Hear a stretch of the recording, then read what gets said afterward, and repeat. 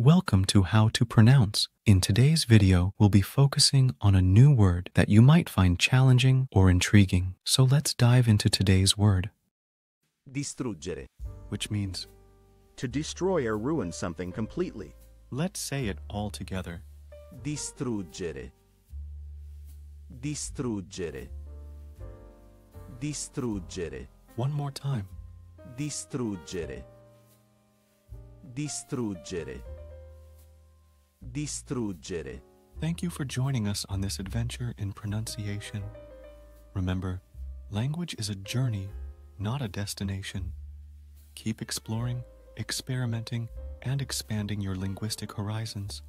We'll see you next time.